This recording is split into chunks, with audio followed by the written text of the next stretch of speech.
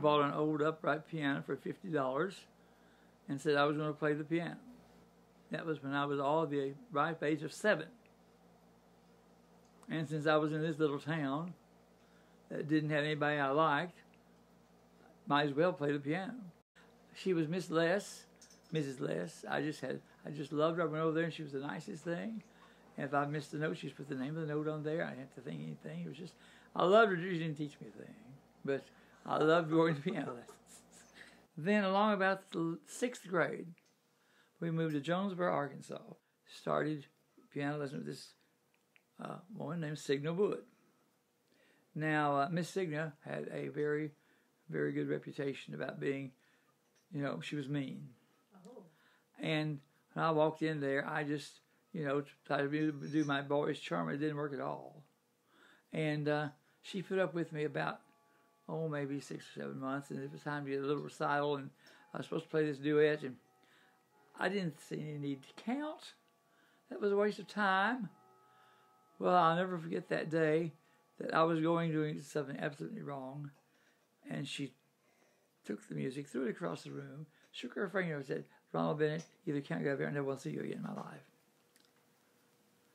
And I was quoted saying, "If I ever get out here live, I'll count from now on out."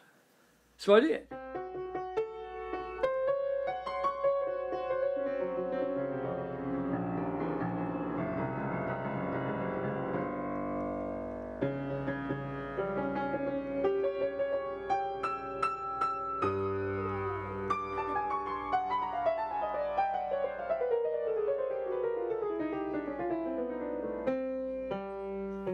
I had a pretty good thing. I've been spoiled all my life. I would go to my classes in the morning at high school and practiced four hours in the afternoon. I had some recitals, and I did get a scholarship to College of Music, and went up there. And from there on, I, you know, did what I was supposed to do to make my grades there. But Signa Wood was the one that kicked me upstairs. And you know, sometimes we have a student, we just don't have to kick them upstairs, but we have to just not give in to anything make them come to your standard. And so, yes, I'm the result of that. She didn't throw me across the room. you know, you have to suffer to be a piano teacher. So I had a little town that was about 25 miles from Cincinnati called Harrison, Ohio. That was right on the Indiana Ohio border. So I would get up on a cold Saturday morning. Now, Cincinnati is built on a series of 13 hills. And I would get out of there at six o'clock in the morning. Slide. I never there's there's one hill that I would slide down. I hope we stop. The stop signs there. I don't know if the brake's going to work, but we got there, and I got over to uh, Harrison, Ohio, and taught in the school. Of course, they didn't heat the school on the weekends. Why I didn't die of pneumonia, I don't know, but I did. But uh, I had a lot of good students there. Some that actually, but then I learned how to teach, you know, under rather good situation, you ruin your first 500 students. we know that. You're either too strict, which I was, too strict, or too easy. Now, it's easier to be too strict and lighten up than it is to be easy and then try to get harder. So, I learned all my mistakes before I ever graduated from school. Then I had some. I had one little girl that wound up going to the College of Music and graduating. And so you see, but that's from those early things. So I, I had a lot of fun. Oh, I think it's interesting to see a student come in and know nothing. And then if you do the right thing, they begin to like it. And then maybe not like it, and you have to turn them into something that they do. And then to see, it. and some, of course, should be taking, you know, soccer lessons or something. But as far as as that, when you see somebody that really responds to your teaching. That's fun.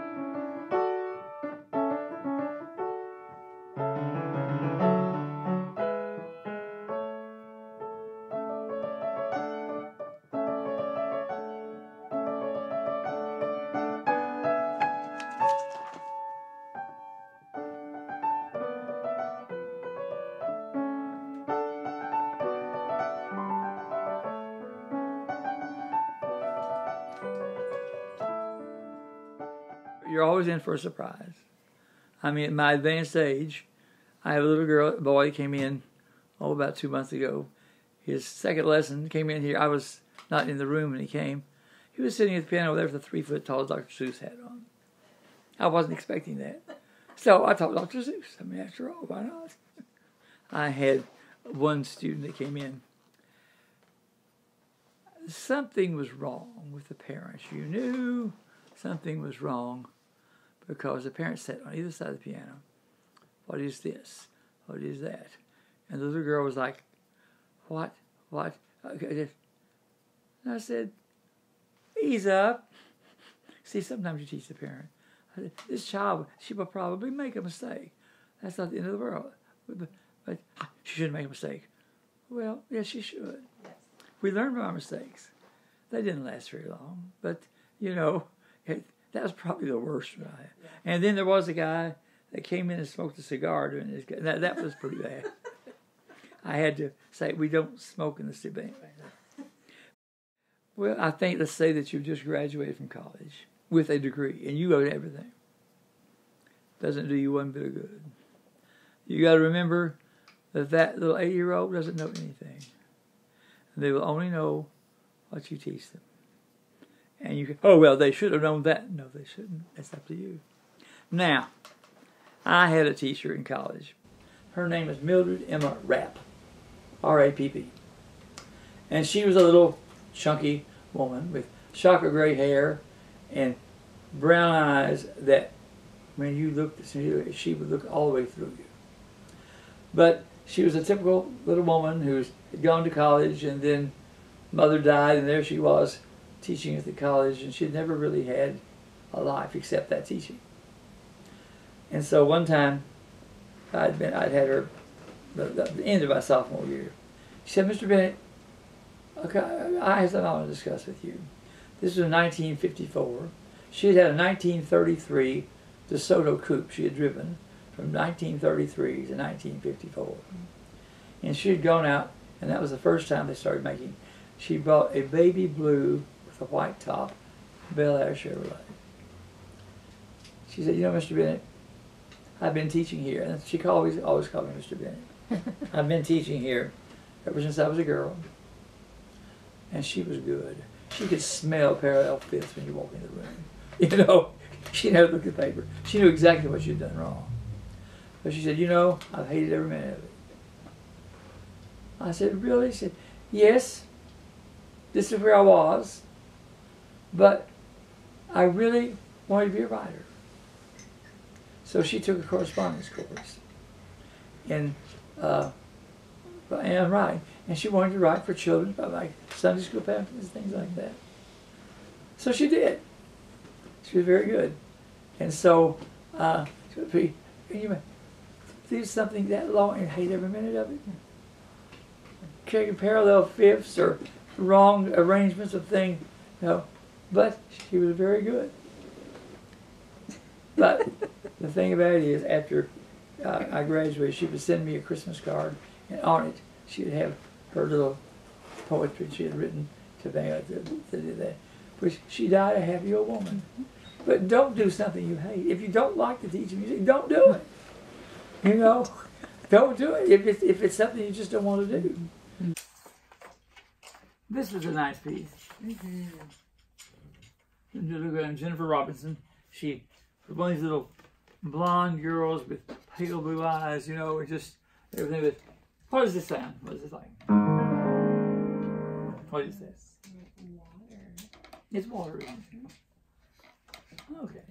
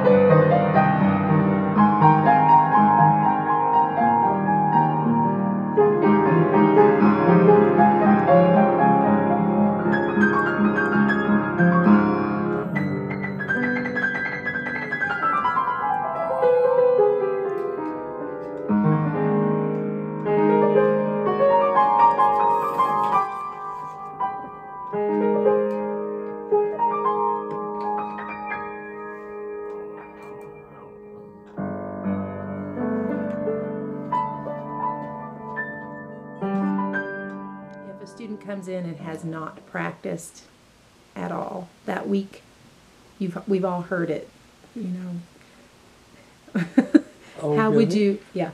How would you use the lesson? All of my students practice every day. I also lie a lot. Well, we just take the piece and we learn the last week's lesson. I mean, if it's something they need to do. Now, if it's a piece, maybe they're tired, we, we start something else or do something else. So you have them practice it right there. Sometimes. Yes. Or sometimes we get up and walk around the room. you know. the other thing. Well, of course, they used to be back in the days of not just John Thompson. Yes. It's like, what's on the next page? That's why I used to call the page turning teacher. Oh, well, let's see what's on the next page. Oh, we need, oh, a, well, I, I have a hard time sticking with a method, but I have used way back, I used Aaron a lot. That was a good thing. And then I used the, uh, uh, the beginning things of that uh, Palmer had, the creating music series. And then, of course, I don't get stuck in too many method books. I usually basically now use Faber and Faber Mhm. because it's open enough. And, and I usually use it for the adult. Okay. And uh, that- those, that's usually what I use right now. Okay. And then I've used creating the, uh, the uh, music all the way, uh, McGill, of course.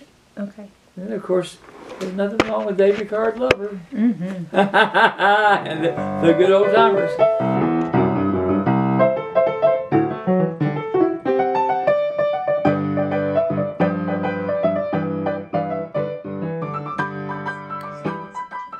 Well, first of all, the, the whole culture has changed. When I first started out here, I would have students where Papa come in and said, Sam, you're going to learn to play the piano. Now, by God, I couldn't have felt it, but I can't. You're gonna, you're gonna like it. Yeah, sure. No.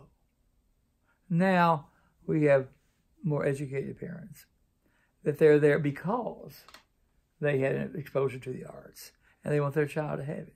That's the main thing I see, as opposed to it's the whole thing. But you know, Odessa is not a cultural town basically, because we had oil field workers that are now these oil field workers have made some good money, so they've got time for a lot of things. Mm-hmm. But the thing I first came out here was like, what is this? You know, what is this? So now I get people in here that know why they're here. Mm-hmm. They have been to a symphony concert. They have heard some things on TV and what have you. Ideas on how to motivate students, especially teens, if they start to lose interest or are, you can tell that they've kind of lost their motivation. switch everything around. We're not going to do that this week. We're going to do what are we doing, man? Let me show you. Oh, can you do that? Well, how about making up a tune on that? Can you go, well, come on. What do you mean? Well, do it. Oh, well. In other words, you have to have a little tool. Because there, he's the cutest boy, and the hair on his legs are so cute. Well, know, am I supposed to be practicing? you know. I said, quit thinking about your hairy legged foot- basketball player and think about your music. You know, and so you, you have to do everything. They have, and they they live in such a a terribly oppressive situation. The teens right now know too much. And they know the, they know things they don't understand. And that is hard. Mm-hmm. So it's up to us to be that steady rock mm-hmm. that's there.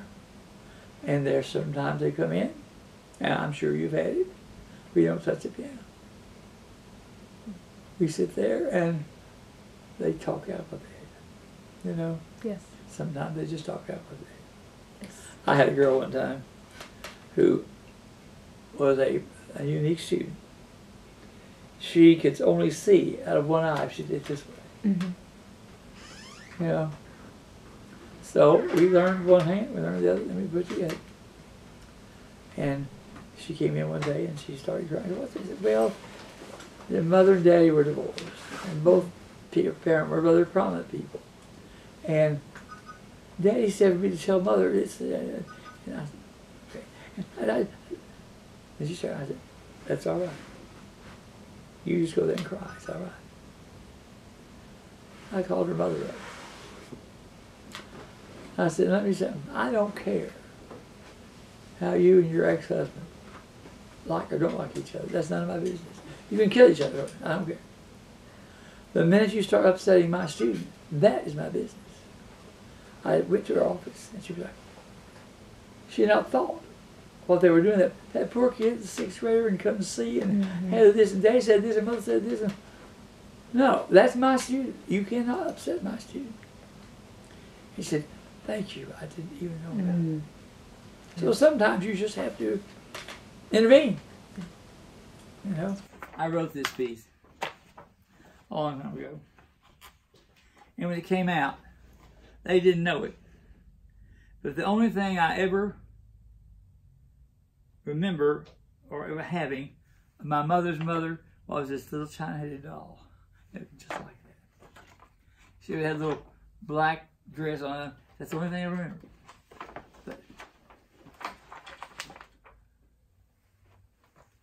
Sarah Heath, my gosh.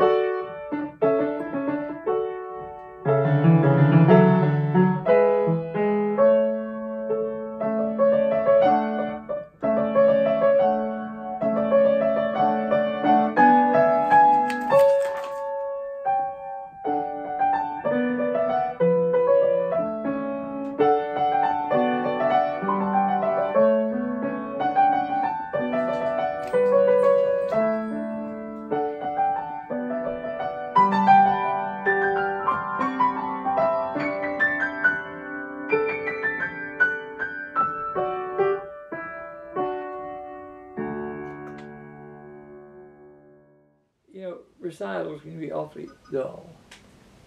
You know, and I don't want to. First of all, I have an interesting thing on recitals.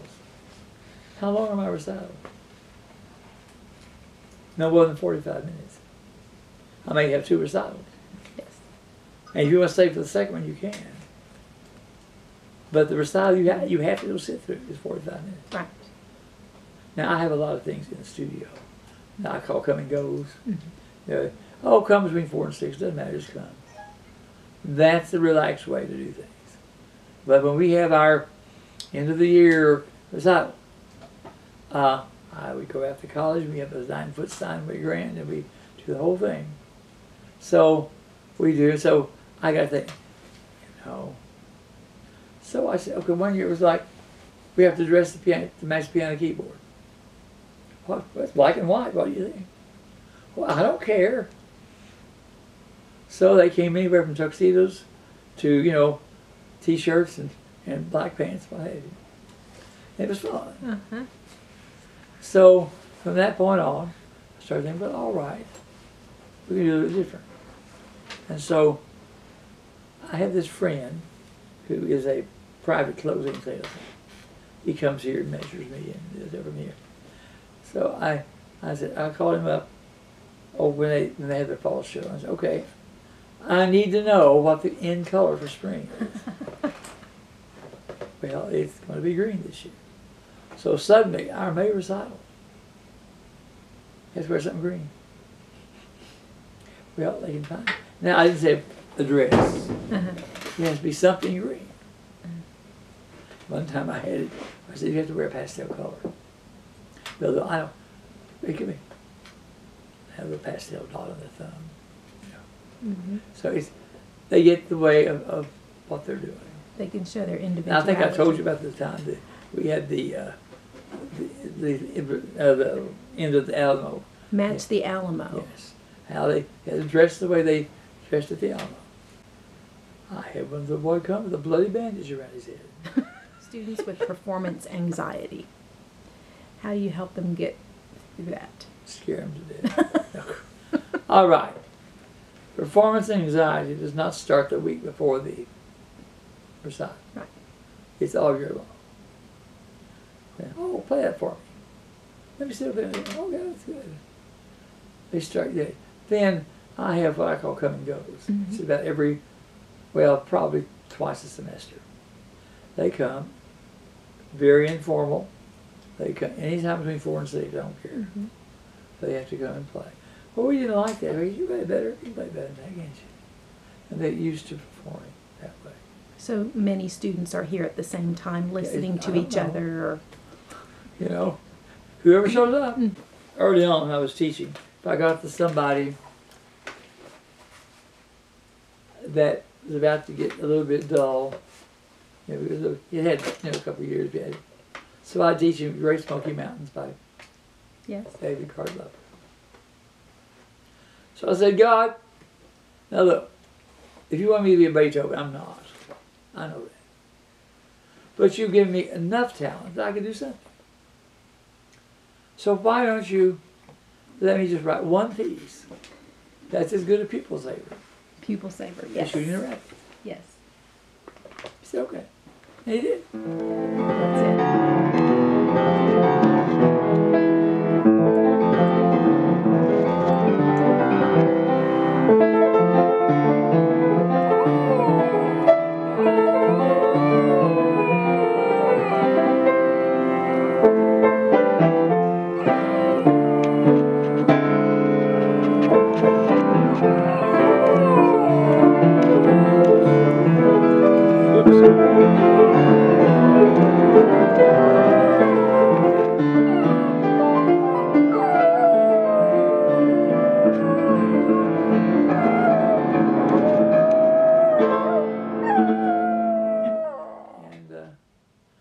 Time I had that, and I had this uh, woman voice student, and she was an she had a uh, she was wanting to learn to sing for a reason, but she'd had a obviously a not too nice divorce or was in the process of something.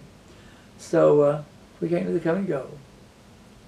She came and sat down and stayed the whole time. Just sat there and cried. Because that was the first time she'd seen children having hmm. fun, everything, everything. I just let her mm-hmm. sit there and cry. Oh. Okay. I had three little girls.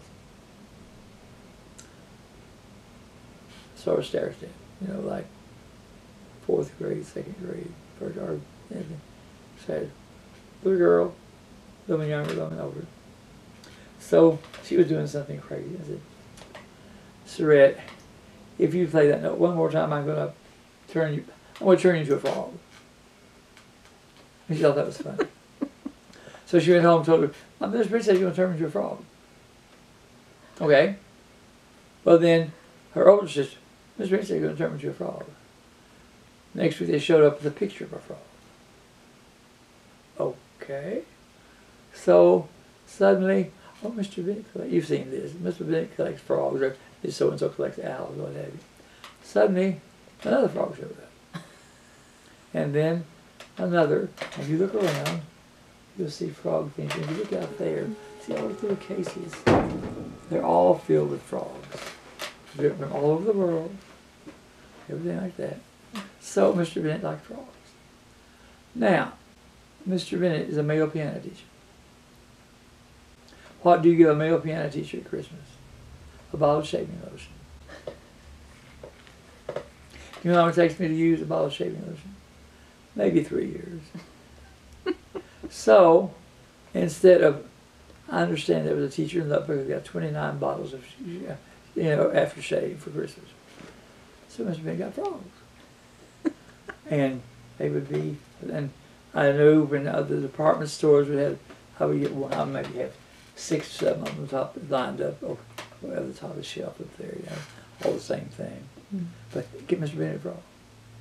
And you even have a sign on your door. That's right. And then I have boxes of frogs I put out occasionally. But that's just one of the things. And then uh, my religious, I fully rely on God. Mm-hmm. You see, or they eat what bugs them.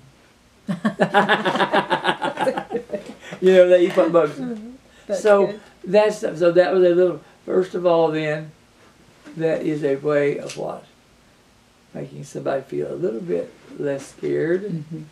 coming to a studio. How can you be afraid if somebody's got frog all over